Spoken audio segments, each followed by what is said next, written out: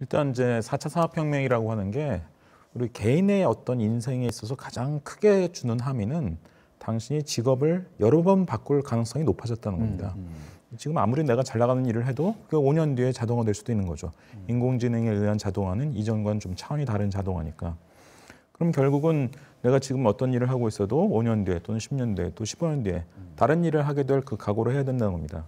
그럼 사회적으로 뭐가 중요해지냐면 그런 직업 전환 과정을 매끄럽게 뒷받침해 줄 수 있는 이른바 고용보험이라든지 적극적인 교육 기회 이런 게 이제 중요한 거죠. 유럽의 이제 이른바 복지국가라는 것들이 쉽게 얘기해서 복지를 많이 퍼줘가지고 복지국가가 된 것이 아니라 이런 시스템이 굉장히 효율적으로 되어 있죠. 근데 그건 이제 어떤 사회적인 어떤 배경이고 개인적으로 중요한 건 뭐냐? 제가 보기엔 그게 이제 자기주도 학습 능력입니다. 네, 네. 자기주도 학습은 결국 목표 설정부터 자기가 하는 거거든요. 음. 우리나라 학생들한테 굉장히 그 부족한 능력입니다. 음. 우리나라 학생들은 초중고등학교 때 다 목표를 자기가 설정한 게 아니라 음. 시험 100점이 목표였어요. 네, 네.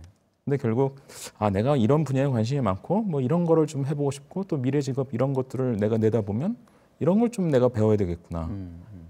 이런 것을 적극적으로 허용해주는 음. 이런 기회를 많이 만들어주는 이런 대학 구조로 좀 바뀌어야 되는데 그런 점에 있어서는 우리 대학이 지금 반성하고 개혁해야 될 부분들이 많이 있다라고 생각을 합니다. 네.